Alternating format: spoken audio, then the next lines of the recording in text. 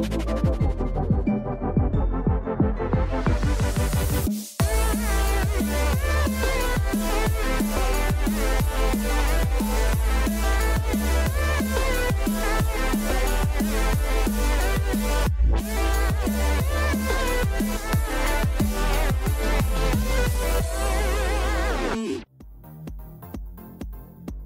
What's up, everyone? Welcome to the 90th episode of Cartoon Fight Club. I'm your host, Animation Rewind, and if you're new to this series, then be sure to check out the older content. But if you know how the game is played, then let's get ready for the fight. Tonight's episode was animated by the legendary Sun God, so if you enjoy what you see, head on over to his channel and subscribe. Speaking of tonight's battle, we have a sea fight between SpongeBob SquarePants and Aquaman. With all this being said, let's introduce Cartoon Fight Club's 90th round of fighters. SpongeBob is back on Cartoon Fight Club for a third time. The first two times he was on here, he fought Mickey Mouse. Today he faces someone very similar to Mermaid Man. That's right, Aquaman. And because we already discussed most of his basic abilities the first two times he was on here, for this episode, we're going to discuss the skills SpongeBob learned from Mermaid Man and the things he can do with the magical page. SpongeBob's favorite television heroes are without question Mermaid Man and Barnacle Boy. He looks up to them as some of his greatest role models. SpongeBob really does all he can to be just like the Mermaid Man he sees on TV, but when he gets a chance to meet Mermaid Man in real life, he realizes that what he saw on TV isn't exactly what happens in the real world. Don't get me wrong, Mermaid Man and Barnacle Boy do in fact have crazy superpowers, except today, they are very old and retired. But sadly for them, evil never retires. That's where SpongeBob comes in. He does his best to help Mermaid Man fight crime, but for the most part, he lacks the expertise to do so on such a skill that Mermaid could do in his prime. However, thanks to SpongeBob's inconsistent Toon Force, it can easily be argued that SpongeBob himself is actually more powerful than Mermaid Man. Because what SpongeBob lacks in crime fighting experience, he makes up with his Toon Force and powerful imagination. His imagination contains the last page in the magical book of the universe. With this page, SpongeBob has access to wishing for nearly anything. Now the page does have limits. Bubbles the dolphin stated that it only has the power to destroy the universe, so SpongeBob wouldn't be able to wish for anything beyond that. But even with the universal boundary, the limits on this page are seemingly endless. SpongeBob has used this page many times to warp reality, give him new abilities on the fly, and rewrite story plots. Overall, SpongeBob is a sea sponge who aspires to be as great as Mermaid Man once was, but not to his knowing, he may already be greater. From one undersea hero to another, let's discuss Aquaman. Like many of the heroes in the DC multiverse, there are plenty of Aquamen. Some are full Atlantean, some are half human, half Atlantean, some are born with powers, some gain their powers, and some go through a little bit of both. For this episode, we are going to focus on the new 52 Aquaman. New 52 Aquaman is half human, half Atlantean. His father, Thomas, is just a normal lighthouse keeper, and his mother, Atlanna, is the former queen of Atlantis. I say former because, like most superheroes, Aquaman's mother is dead. Because Aquaman's brother, Ocean Master, killed her so he could be king. And it was Ocean Master's evil ways that indirectly forced Arthur Curry to adapt into the water hero we all know today. Long story short, Aquaman defeated Ocean Master and is now the true rightful king of Atlantis. Aquaman is quite a powerful hero. He can swim up to speeds of 150 miles per hour and can lift 150 times his body weight, which puts his max lifting strength at nearly 50,000 pounds. He also possesses superhuman durability,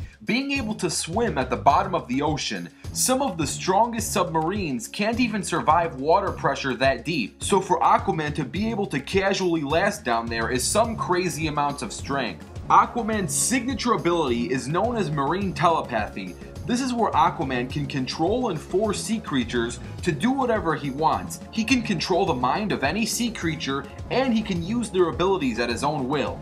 Now, before anyone complains, this is not outside help. Because Aquaman forces the creatures to obey his command, and thus it is Aquaman pulling the strings behind the sea animals.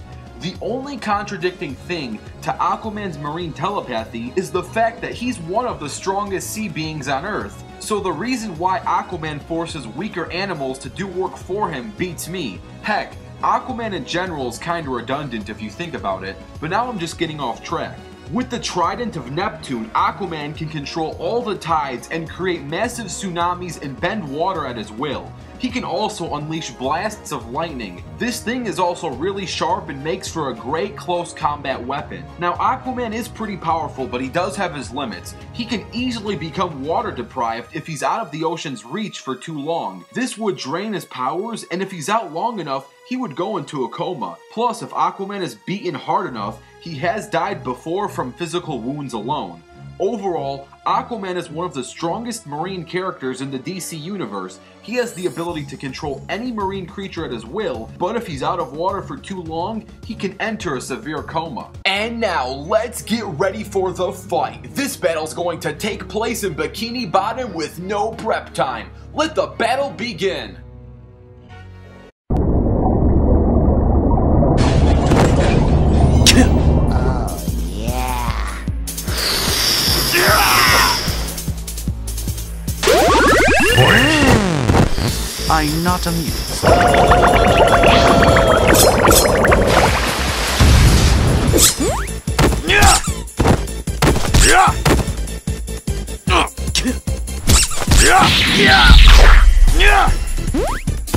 I call upon the sea! This will stop you!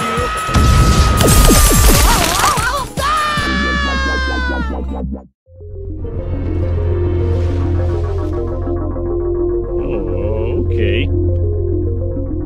Actors. You can't hide what's inside. Because with this pencil and the completion of this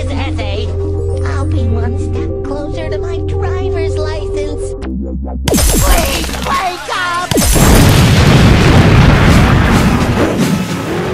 You dare! What are those up to? A loss for.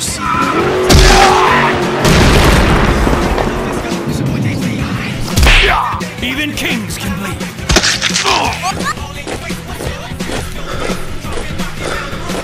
This is harder than I thought.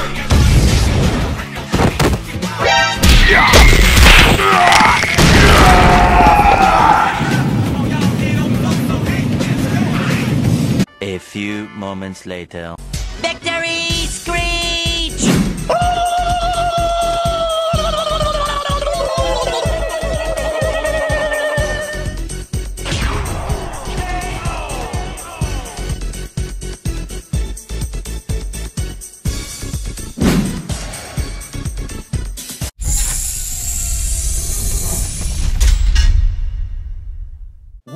Like SpongeBob is still undefeated. Now, before we discuss why he wins, I want to give a special thanks to the Sun God himself, the Sun God. So, if you enjoyed what you saw, head on over to his channel and subscribe. Now, let's discuss SpongeBob versus Aquaman. Now, SpongeBob winning might come as a surprise since he's a sea creature, and Aquaman's signature ability is to command sea creatures to his will.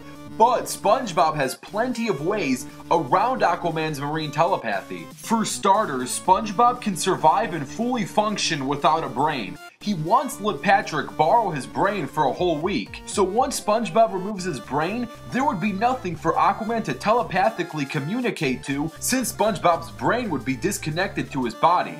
Secondly, SpongeBob has the Toon Force to not only be aware of mind control, but also fight against it. Plankton has tried to control SpongeBob's brain many times, but always fails to do so. He once rebuilt a SpongeBob robotically, and even the robot SpongeBob that was designed to listen to Plankton wouldn't listen to Plankton. Basically, SpongeBob's brain does not work like a normal brain. It's actually so useless that he doesn't even need it to think or survive. Heck, to an extent, SpongeBob can't even control his own mind, so for a third party like Aquaman to do it, it would actually be kind of a stretch. And then there's the magical page. Which kinda makes this whole thing a bit unfair, because with the page, SpongeBob could pre-write himself a plot with him as the victor. Now this does not mean that SpongeBob can win every battle he faces with this page, the page does have its clear limits, but even without the page, SpongeBob has the Toon Force to do crazy high tier things like go full Goofy Goober and use the power of rock and roll to his advantage. Basically, when it comes down to it, SpongeBob has way too many ways to defeat Aquaman, while Aquaman would solely have to rely on his own physical limits in attempt to get a hold of SpongeBob's mind. The winner is SpongeBob. Now, if you want to see a 2 on 2 rematch between SpongeBob and Patrick versus Aquaman and Aqualad, you know what to do. Comment down below the word rematch, and if this episode gets 4,000 rematch comments, there will be a rematch. Also, don't forget to comment down your ideas for future episodes of Cartoon Fight Club. They may even become a future episode. And stay tuned because the next fighters are going to be revealed. On the next episode of Cartoon Fight Club.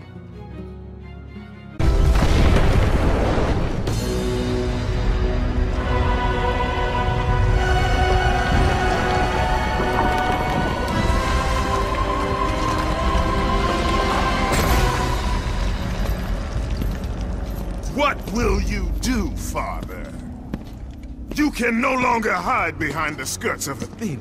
Athena is dead because of the rage that consumes you, Kratos. What more will you destroy?